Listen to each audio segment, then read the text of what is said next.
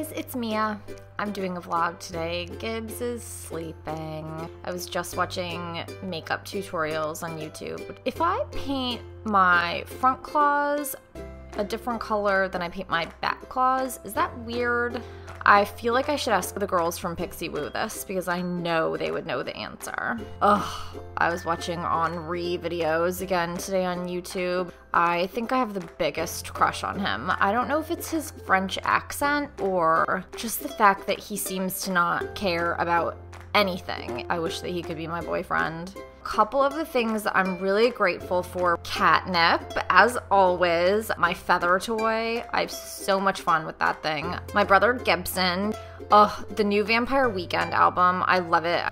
And Henri. One more thing. Do you guys think that I should cut bangs.